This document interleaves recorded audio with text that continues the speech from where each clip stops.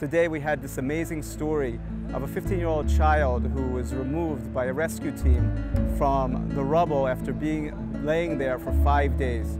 He came to our department, we stabilized him quickly, we did all the necessary blood tests, ultrasound. He was conscious, stabilized, and he'll be hospitalized in the pediatric wards overnight and for possibly for the following days. Uh, it's a true miracle. We wish him a lot of luck.